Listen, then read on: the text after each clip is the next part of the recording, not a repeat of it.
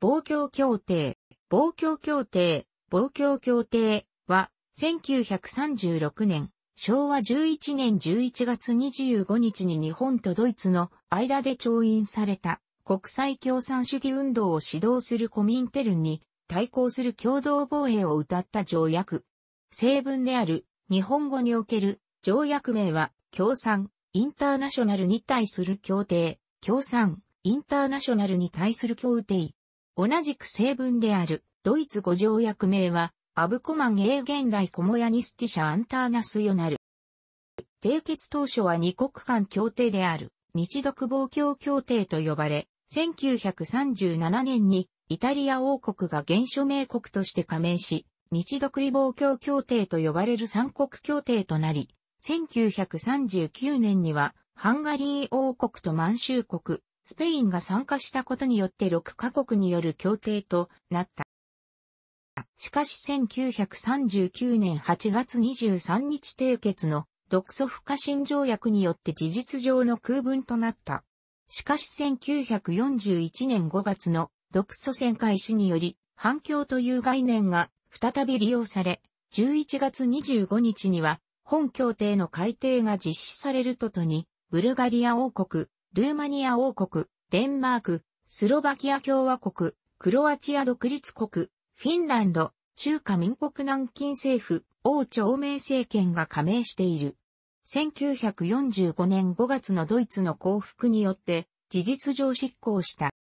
1933年に国際連盟を脱退した日本では国際的孤立を回避するために同様に国際連盟から脱退したドイツ及びイタリアと接近するべきという主張が日本陸軍内で唱えられていた。また、共産主義国家であるソビエト連邦は両国にとって仮想的であり、一方のソ連では1935年7月に開催された第7回コミンテルン世界大会で日独を敵と規定するなど、反ソビエトという点では、両国の利害は一致していると考えられた。また中独日本大使館付陸軍部官、大島博少将は、かつて日露戦争の際にビオル家の密約によって、ロシア帝国とドイツ帝国の提携がなしかけ、背後を気にする必要がなくなったロシアが兵を極東に差し向ける恐れがあった事例を引き、ユーラシアにおけるソビエト連邦とドイツの提携を断固排除する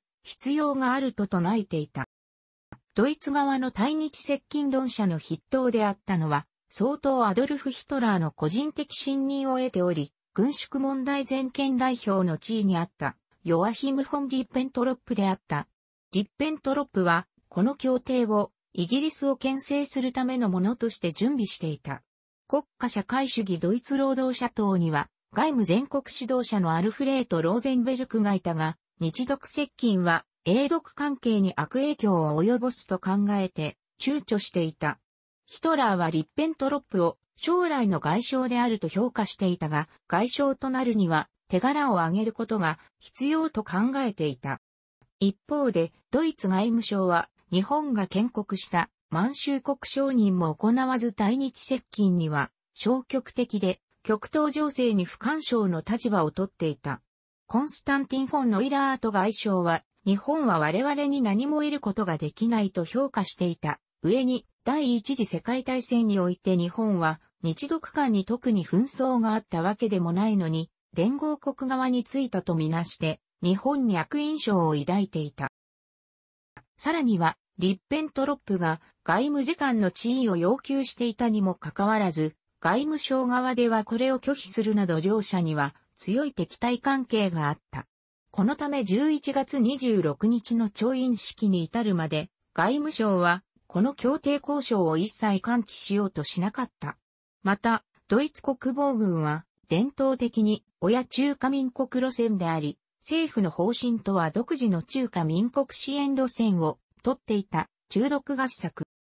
この複数の関係機関が独自に活動している状態は、ヒトラー政権下における外交の多党性と複数路線性を示すものであると指摘されている。実際にリッペントロップは、リッペントロップ事務所を設立し、外務省から独立して対日交渉に臨んだ。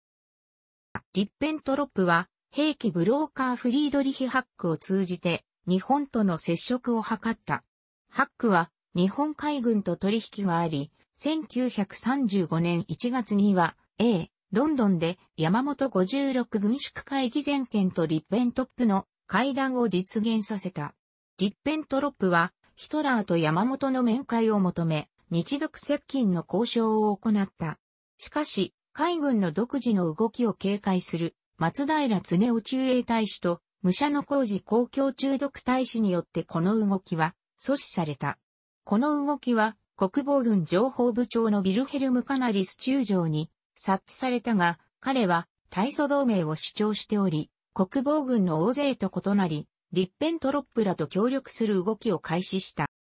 9月13日、ハックは中毒日本大使館付陸軍部官、大島博士少将に接触し、日本陸軍参謀本部の意向を確認した。大島も外務省を通じず、陸軍とリッペントロップの間で交渉を行うように要請している。11月半ばまでの間、ハックと大島の間で予備交渉が行われ、大島はソ連を対象とした軍事色の強い保障協定を提案している。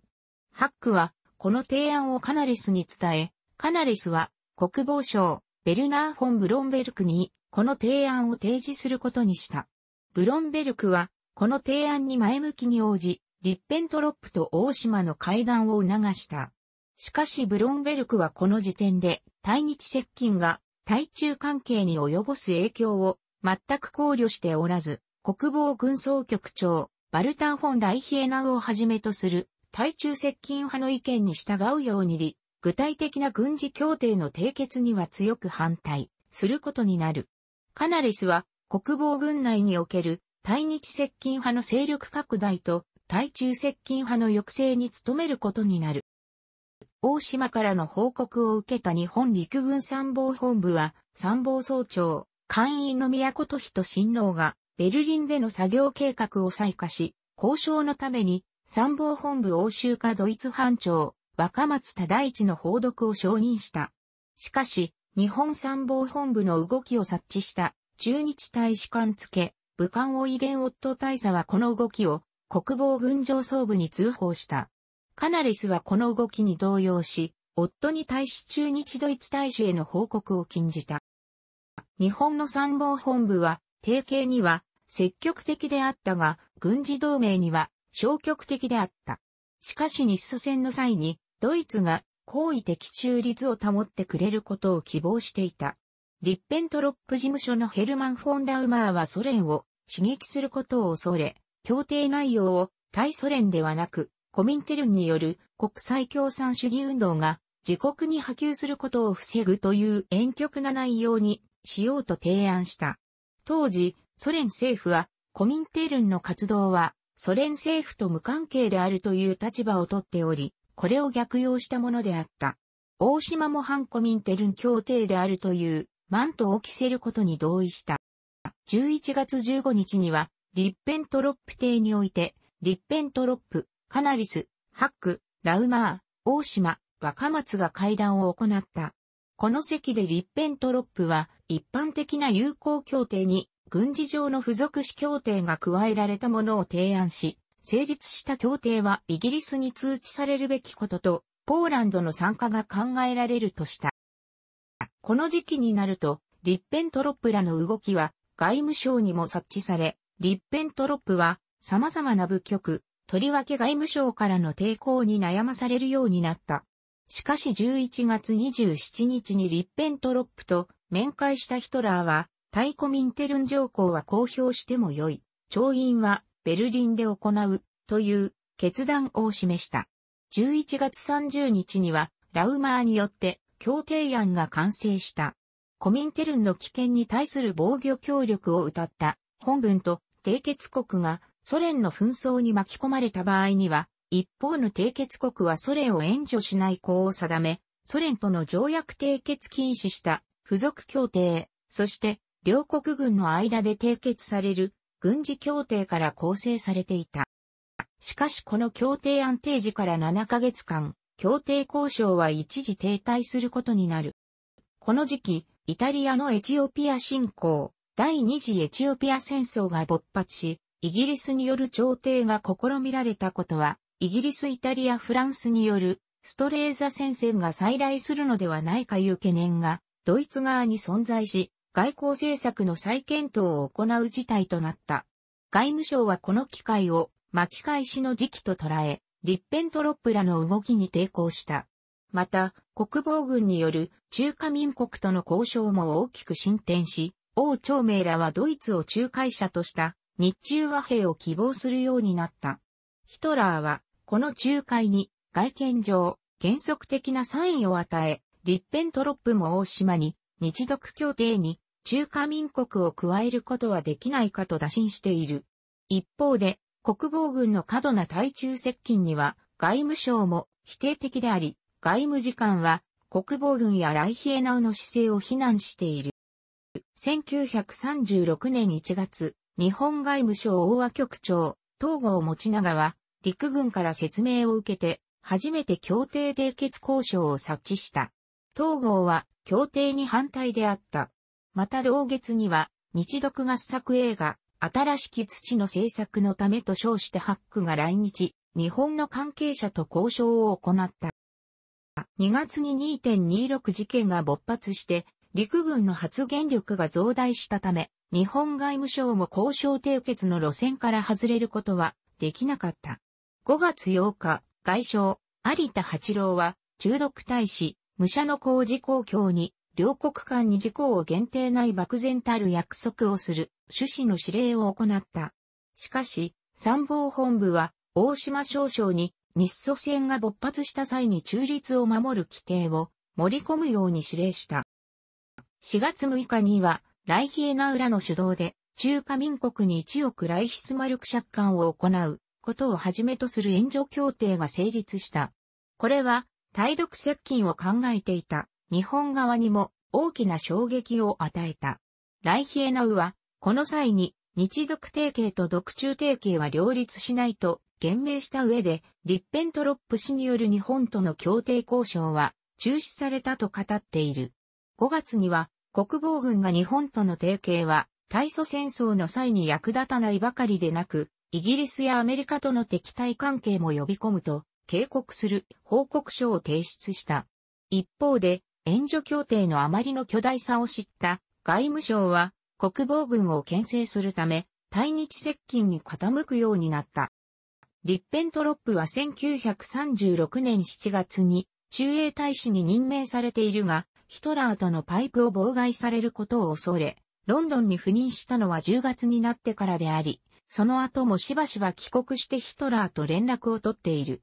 7月には、防共協定の案文と付属議定書が、ドイツ側から日本に提示された。この内容は1935年11月にラウマーが作成した案とほぼ同一のものであったと見られている。日本側は協定の公表自体には反対であったが、ドイツ側は協定本文については公表することを望んだ。一方でライヒエナウラはなおも強い独中協定を主張し、中独軍事同盟の成立も主張していた。9月にライヒエナウは帰国するが、ヒトラーはライヒエナウがヒトラーの対日構想を台無しにシュートしていると激怒し、将軍たちは政治を何も理解していないと罵った。10月23日には仮調印が行われ、日本の枢密院における審議を待つばかりとなった。しかし、国防軍の親中的な姿勢が伝えられるにつれ、枢密院での審議が危ぶまれるようになった。武者の工事大使は、ドイツ側に抗議し、協定締結は不可避と考えるようになった外務省が国防軍に対中支援協定の中止を求めたことでこの動きは決着した。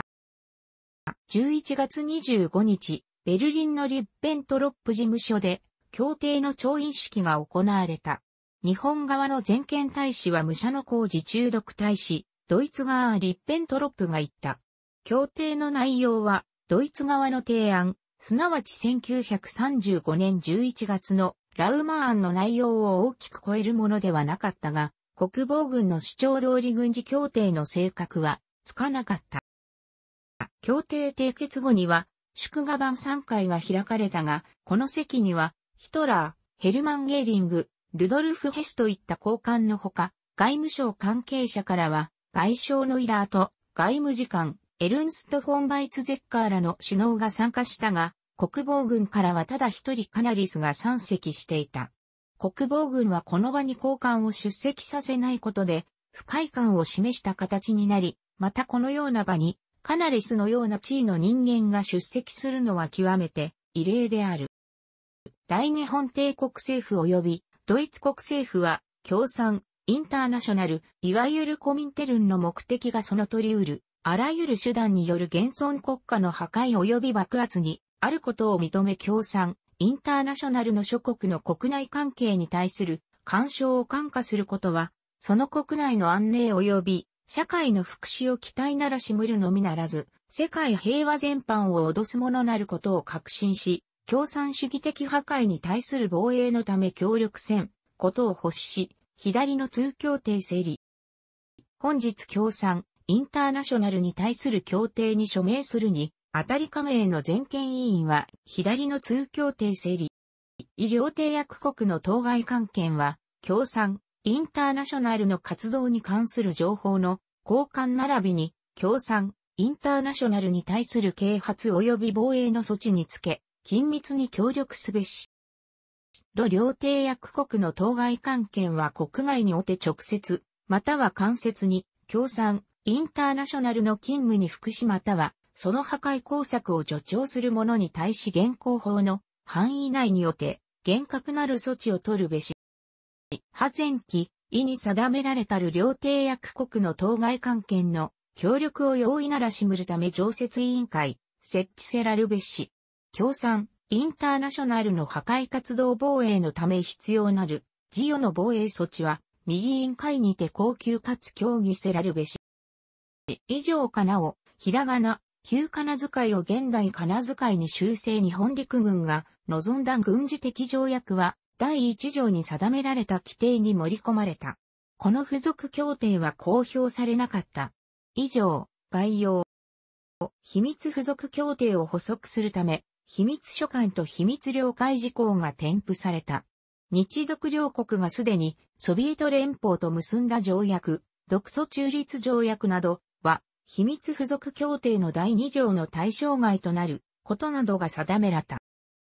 防共協定は交渉過程において実効性を持たない骨抜きの条約となり、交渉当事者にも背骨なき同盟と評価されていた。陸軍以外は協定締結に積極的ではなく、元老、西恩寺金持ちは、どうも、日独条約は、ほとんど10が10までドイツに利用されて、日本はむしろ非常な損をしたように思われると漏らしており、ディルク戦も日本外務省、海軍、財界の態度が泡であると報告している。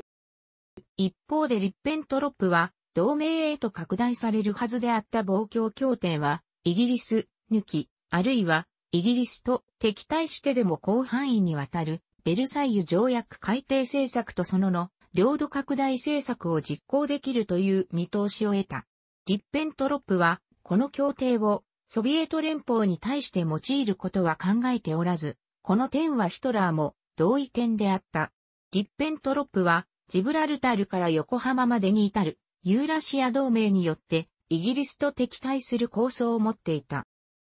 1937年2月には、ディルクセンが日本から勲一等旭日大受賞を受け、その他カナリス、オット、ハック、ラウマーといった交渉関係者にも叙勲が行われた。11月には、ノイラートのほか、協定締結を終始熱心その促進に努めたとして、ブロンベルクら国防軍関係者にも儀礼的な叙勲が行われている。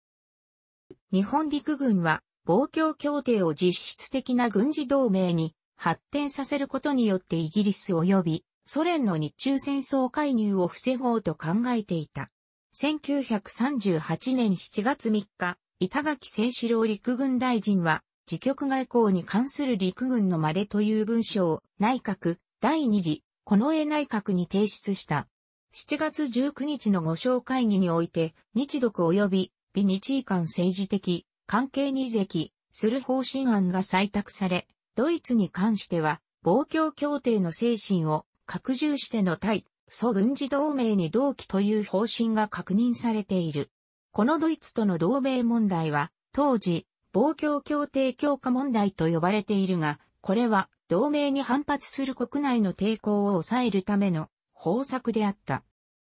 日本はあくまでこの協定をソ連に対抗するものと考えており、イギリスをこの協定に参加させようとしたが、イギリス側に拒否されている。また、ソ連のみを主敵とする日本側とイギリス・フランスも敵と考えるドイツ側との構想の違いがあった。また、日本国内でも同盟成立を重視する日本陸軍は英物を敵に加えるよう主張していたが、大英帝国の影響を恐れる海軍及び外務省はこれに反対していた。重光葵のように暴挙をキーワードに国際同盟を構築しようとする者もいたが、大きな動きにはならなかった。1937年8月21日の中華民国とソ連の中ソフカ新条約の成立によってイタリア王国の防共協定参加が決定的なものとなり、ムッソリーニ首相は日本の東洋平和のための自衛行動を是認るという論文を発表。ベルギー9カ国条約会議でイタリアのマレスコッチ代表は日本を支持するなどの動きを見せた。会期中の1937年11月6日、イタリアが原諸名国の一つとして、防共協定に加盟ると規定した日本国ドイツ国間に締結せられたる共産インターナショナルに対する協定へのイタリア国の参加に関する議定書に調印した。イタリア王国の参加により、日独異防共協定に発展し、協定の繁栄、反西欧的性格はさらに強まった。1938年、リッペントロップは外相に就任し、以降のドイツ外交の主務者となった。しかし繁栄的で、ソ連と組むことも辞さないリッペントロップ及び、ドイツ外務省、海軍と、どちらかといえば、親衛的で、ソ連打倒を考えていたヒトラーという二つの外交路線が存在していた。日本の各部首脳は、ヒトラーの意思のみを重視しており、後の独ソ提携で衝撃を受けることになる。また、日本の指導下によって成立した満州国は、防共協定への参加を熱望していたが、将来のひどくい三国の同盟構想が決定されていないこの時期の参加は、時期尚早と見る日本の反対により加盟は実現していなかった。しかしこの日本の反対はソ連を主敵とする決定が下されたことで解決し、またドイツもハンガリー王国の参加を希望することになった。これにより原諸名国の3国がハンガリー及び満州国を勧誘する形で協定の拡大が行われ、1939年1月13日にハンガリーが1月16日に満州国が参加を表明した。両国の調印は2月24日に別個に行われた。日独は一方でスペイン内戦において勝利を固めつつあったフランシスコ・フランコ政権の防共協定参加交渉も行っていた。3月27日になって、フランコ政権は防共協定への加盟を秘密裏に言っていい、スペイン。ところが、その直後の1939年8月23日には、独ソ間で独ソ不可侵条約が締結された。リッペントロップは、この際に防共協定は反ソビエト連邦というよりも、反西欧民主主義国という性格を持つものだと、ヨシフ・スターリンに説明している。これを防共協定の秘密議定書違反として日本は猛抗議し、平沼内閣は総辞職したことによって、協定は事実上消滅し、日独の提携交渉は一旦白紙となった。日本外務省内では、協定が事実上白紙になったという認識は示されたものの、実際には協定解消などの声も起こらず、手続きは行われなかった。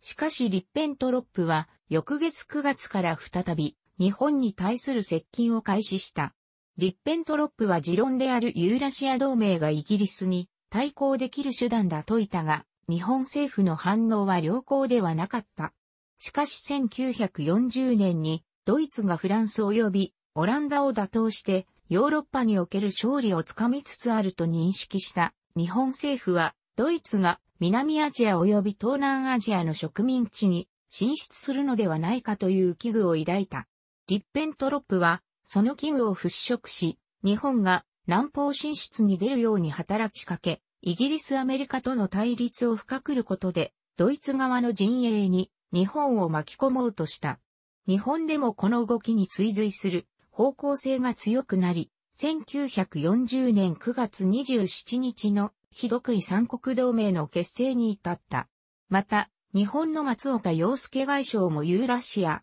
同盟構想を抱き、1941年の欧州歴法において、この構想を実現しようとした。しかしヒトラーは三国同盟結成の時点で独ソ戦を決断しており、ユーラシア同盟構想はすでに崩壊していた。すでに独ソ関係が変化しているというリッペントロップや大島の言葉には耳を貸さず、1941年4月13日非訴中立条約の締結が実現した。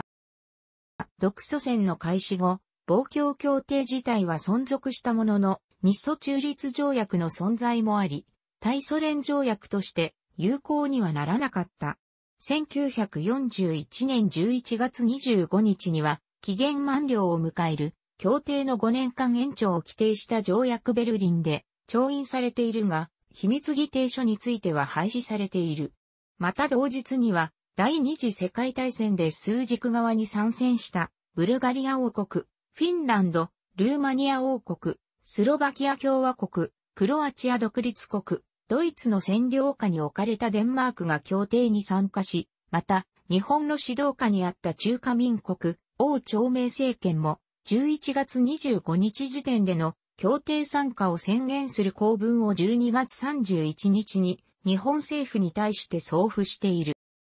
1943年にコミンテルンは解散しているが、日本の外務省条約局はコミンテルンが実際に解散したかどうかは確認できなかったとして、条約は存続していると見ている。1943年9月8日にイタリア王国が降伏し、イタリア社会共和国が協定参加国となったが、1944年以降は東欧の参加国が次々と戦争から離脱し、1945年5月7日と8日にはドイツ軍が降伏してナチスドイツが崩壊した。条約局は5月7日をもって他の三国間条約が執行したことを確認した上で、防共協定も法律上の意味で5月7日に執行したという見方をしている。楽しくご覧になりましたら、購読と良いです。クリックしてください。